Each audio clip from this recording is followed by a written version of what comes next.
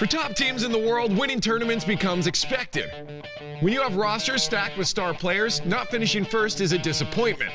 In 2017, this was the story of FaZe Clan as they reworked their roster into an absolute powerhouse filled to the brim with expectations. They signed Nico from mousesports, transferred over Guardian from Na'Vi, and finally picked up Olof from Fnatic.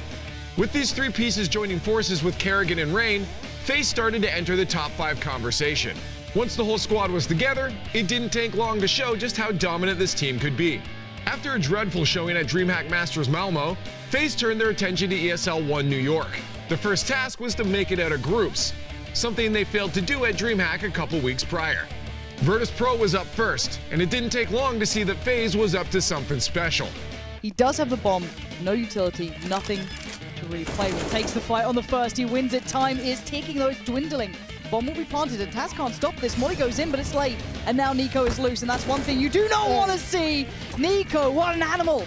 A best of one win over Virtus Pro wasn't enough to hint at what FaZe had in store, but after a one-sided map against Astralis, people began to take notice. Let's see where he plants. Eight seconds, bomb going in. He needs support, he needs a covering fire. Rain just unleashes fury. Glaive is there though. Oh, Nico needs to be absolutely precise, and he is! That's Nico! His phase seems kind of slink back in this very passive manner. Rain will be watching for this push out. He does have support from Pit, so he's not completely isolated. And this crossfire is so damn good. With two dominant wins, FaZe locked up first place in their group and secured a semifinal matchup against Cloud9. As good as FaZe looked in groups, they somehow looked even stronger against the NA hopefuls of C9. Bomb in the hands of this man. Skadoodle has to be careful. The timing it's gotta hurt. Now it's Tarik, the 1v2. One minute left, but look at the bomb. And look at that. Guardian gonna find the angle, take him down.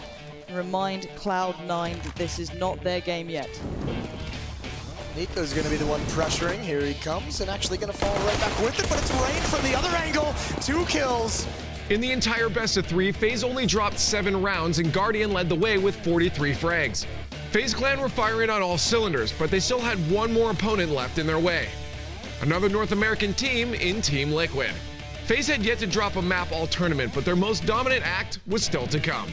karrigan dies in the last rounds. So too to see in this one. Oh, the auto sniper that gives the Liquid their best chance, except that Nico's still in the back of the sight. And he's got accuracy, he's got Oh my god! Get off the server. Wins on Guardian, they go above smoke. Flash, oh, the flash timing. It's almost decent because Rain, although go through the smoke, gets them and shuts it down. I was gonna say, 15 nothing, 15 nothing in a grand final best of I, five. FaZe starting off on a map that Liquid has won twice this weekend. I don't think I've ever casted a 15-0 uh, in a grand final before. This is the first. After the perfect opening half, FaZe would eventually close it out to take a 1-0 series lead. From there, Nico would completely take over the server.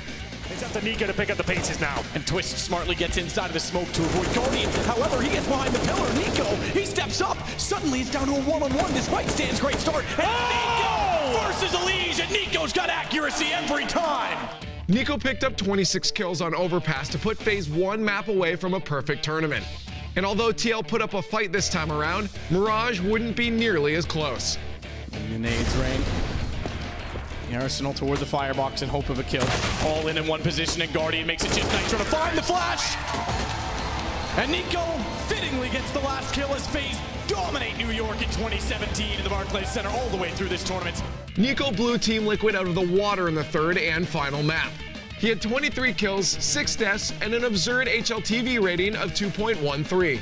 And of course, for team captain karrigan, how could you not be a little cocky after becoming the ESL One New York champions without dropping a single map? What has it been like winning and playing in New York in front of this crowd? It has been amazing, even though many US fans here hoping for a US victory, but uh, I guess to have a chance next year when New York is coming back, hopefully. I'll say we're ready for the next tournament, and I hope somebody can bring more to the table.